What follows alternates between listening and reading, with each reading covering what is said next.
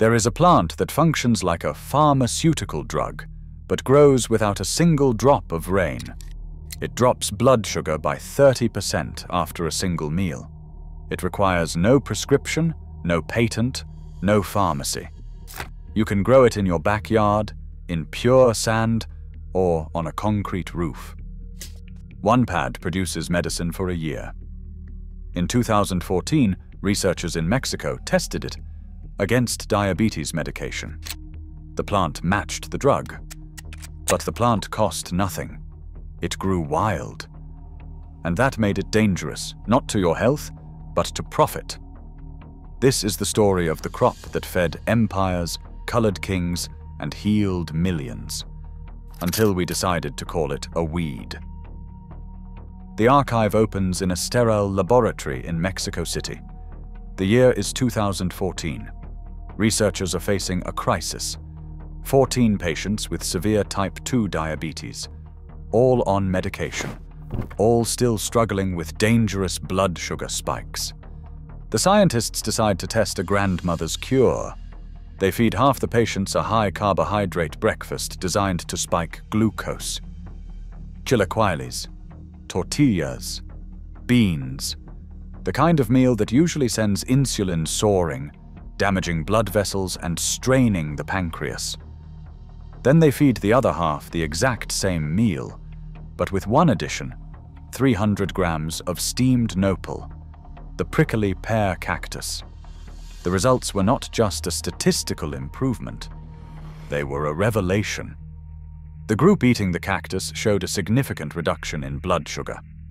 The area under the curve, the measurement that tracks the deadly glucose peaks that destroy kidneys and eyes, dropped from 443 to 287. The plant had a glycemic index of 32, lower than oatmeal, lower than corn. But here is what terrified the pharmaceutical industry. The nopal was not acting like a drug with one specific chemical pathway. It was acting like a guardian. And the secret was in the slime. Botanists call it mucilage. It is the thick, sticky substance that oozes from the pad when you slice it. To the modern consumer, that slime is unappealing. We try to wash it off. We try to breed it out. But that slime is the medicine. When it enters the stomach, the mucilage expands. It coats the lining of the digestive tract, creating a physical barrier. It traps the carbohydrates from your meal, slowing their conversion into sugar.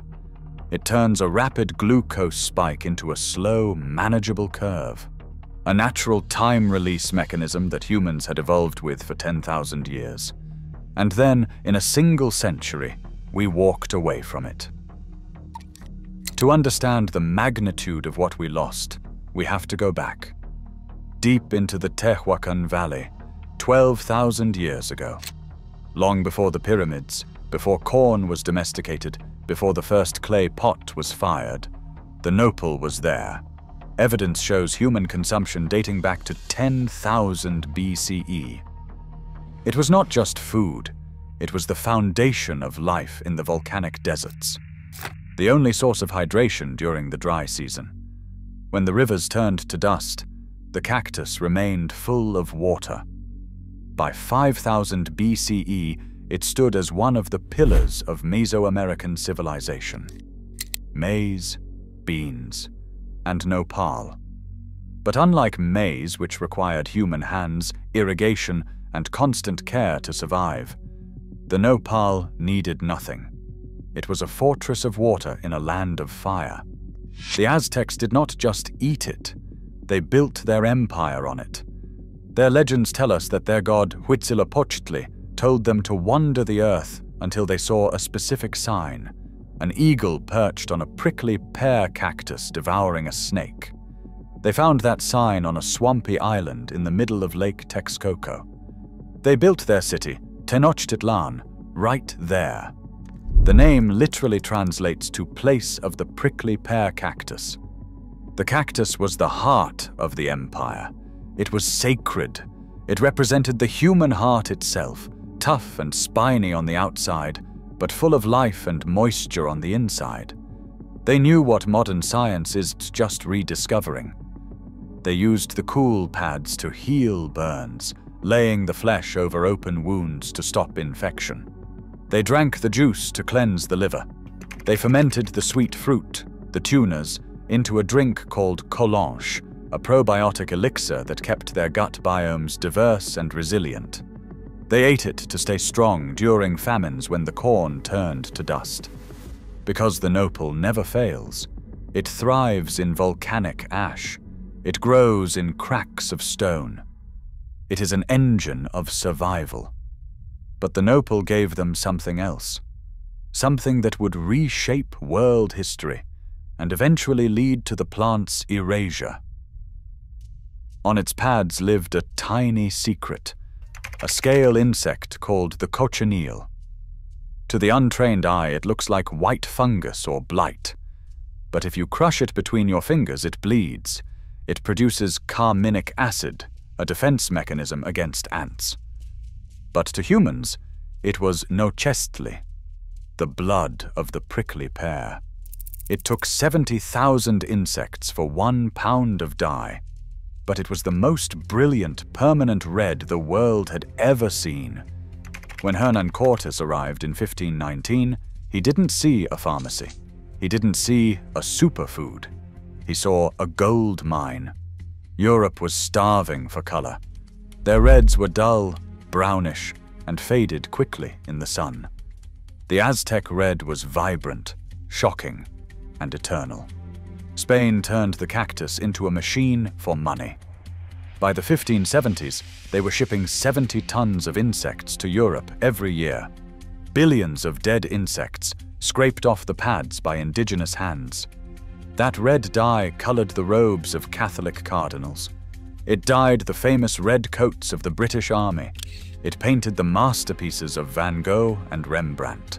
It became the second most valuable export from the New World rivaled only by silver. Spain guarded the secret with the threat of death.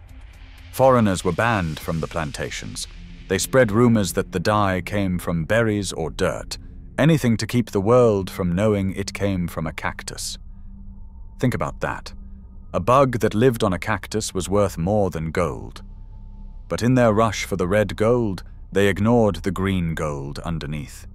They stripped the knowledge of the plant's healing power the nopal was reduced to a commodity, a tool to hold a bug. Europeans protected the insect but despised the plant. To them, it was ugly, spiny, primitive, a monster of the desert. And when synthetic dyes were invented in the 1800s, the value of the insect collapsed overnight. The empire of the cactus fell apart. The plantations were abandoned. And that is when the erasure truly began. By the 20th century, the plant that had sustained civilizations was rebranded. Ranchers in the United States looked at its spines and saw a nuisance. It competed with grass. It pricked the mouths of their cattle. The USDA classified the prickly pear as a weed. They published guides on how to poison it, how to burn it, how to bulldoze it. They spent millions developing herbicides specifically designed to kill the one plant that could survive the droughts that were coming. But the war on the cactus reached its peak in Australia. It is one of the greatest ironies in agricultural history. In the 1800s, British settlers brought the nopal to Australia to use as natural fencing and to start a dye industry. But they forgot one thing. In Mexico, the cactus has natural enemies, beetles, moths, and fungi that keep it in check. In Australia, it had no predators. The cactus realized it was free. It exploded. By 1925, the prickly pear had conquered 100,000 square miles of Australian farmland, an area larger than the United Kingdom. It advanced at a speed of 1,000 acres per hour. Houses were crushed under the weight of the pads. Roads were blocked. Entire towns were abandoned. They called it the Green Hell. The government offered rewards for anyone who could kill it. They sprayed it with arsenic. They rolled tanks over it, nothing worked. If you cut a pad and threw it on the ground, it just rooted and grew a new plant. It was immortal. Finally, they had to go back to the source.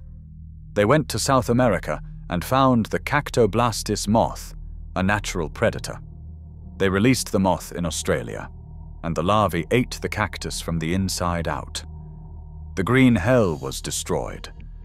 But the lesson they learned was the wrong one. They learned that the cactus was a monster. They did not ask why it grew so well. They did not ask how a plant could produce millions of tons of biomass in a land with no water. They just wanted it gone. Why did we hate it so much? Because Nopal breaks every rule of modern agriculture. You cannot patent it. You plant one pad, and it clones itself forever. It needs no irrigation, destroying the business model of water rights.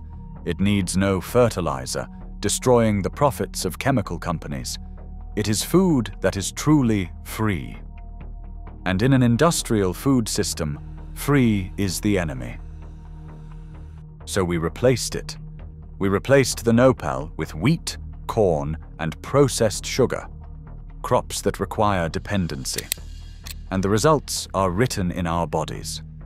The Tohono O'odham people of the Sonoran Desert were once the masters of desert survival. They didn't have hospitals, but they didn't have diabetes. Their traditional diet was rich in slow-burning foods, nopal, mesquite beans, tepary beans, and cholla buds.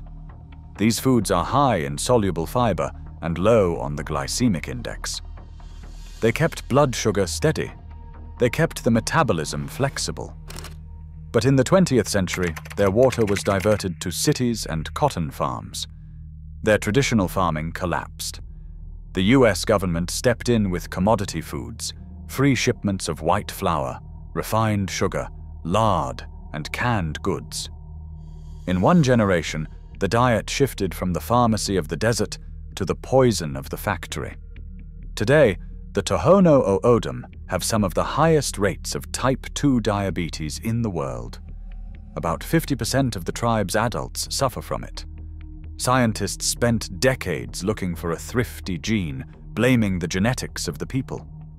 They said indigenous people were just predisposed to obesity, but the answer wasn't in their DNA, it was on their dinner plates. When you take a body adapted to the perfect, slow-burning fuel of the cactus and flood it with the rocket fuel of processed sugar, the system breaks. The problem wasn't their genetics. The problem was that they were forced to trade a pharmacy for a poison. But in the shadows, some refused to forget. In the ranch lands of northern Mexico, cattlemen kept a secret technique alive called chamuscando, during brutal droughts, when the grass turned to ash and the corn withered, they did not kill the cactus. They turned to it. They took propane torches and burned off the spines. They fed the roasted pads to their starving cattle. The cattle did not just survive, they thrived. They produced milk in the middle of a dust bowl. The water content in the pads kept them hydrated when the wells ran dry. The plant was saving them, just as it had saved the ancestors. And now, as the world heats up, the nopal is rising again. Hotter weather is killing corn. Wheat withers at 100 degrees Fahrenheit. But the nopal opens its pores only at night to save water. It uses a biological miracle called CAM photosynthesis, crassulacean acid metabolism. Most plants are like us. They breathe during the day. They open their pores to take in carbon dioxide, but doing that under the hot sun means they lose huge amounts of water to evaporation. That is why corn and wheat die in a drought. They literally sweat to death. The nopal is different. It works the night shift. It keeps its pores shut tight during the blazing heat of the day. It waits for the sun to set. Only when the air is cool does it open its pores to breathe. It stores the carbon dioxide as acid, holding it until the sun comes up to turn it into sugar. This mechanism makes the nopal one of the most water-efficient plants on Earth. To produce one kilogram of dry mass, wheat needs 500 kilograms of water. The nopal needs only 50. It is 10 times more efficient than the crops we currently rely on. It can survive 120 degrees Fahrenheit. It can go months without rain and still produce a juicy, hydrating vegetable. Farmers in Mexico are now using it to generate biogas, powering entire villages with the fermentation of the pads. A company called Nopalimex has built a biogas plant that runs entirely on cactus.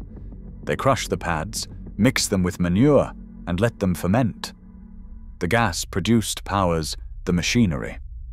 It fuels the trucks. Think about the elegance of that. A plant that grows on wasteland with no water can be turned into clean fuel. No drilling, no fracking, no wars over oil pipelines, just the sun, the cactus, and the gas. Others are using it to create biodegradable plastic. Scientists are turning the mucilage, that ancient slime, into a plastic that is non-toxic, edible, and breaks down in weeks, not centuries. We are discovering that this weed could replace the very oil-based industries destroying the climate, but its greatest power remains in the human body. New studies are confirming that the pectin in nopal lowers bad LDL cholesterol. Its antioxidants, known as betalains, the same pigments that give beets their color, fight oxidative stress in the cells. It feeds the Bacteroides bacteria in the gut, the good microbes that modern diets starve. It reduces inflammation, the silent killer behind heart disease. It is the perfect antidote to the inflammatory world we built. It is the plant that heals the damage we did to ourselves. The nopal teaches us a hard lesson. For 500 years, we chased the red gold, the profit, the extraction, the quick wealth. We ignored the green gold, the health, the resilience, the sustainability. We called the nopal primitive while we ate ourselves sick. That food was never meant to be a product. It was meant to be a relationship. The nopal never stopped offering its gifts. We just stopped listening. Memory is returning. In gardens, in markets, and in the wild, the green gold is coming back. The next time you see a prickly pear growing on the side of the road, ignored and dusty, do not look away. You are looking at a survivor. You are looking at a pharmacy. You might be looking to the future of agriculture. If this vault opened something for you, subscribe to Nature Lost Vault and hit the bell. Every like and every share helps preserve this wisdom. The next vault opens soon.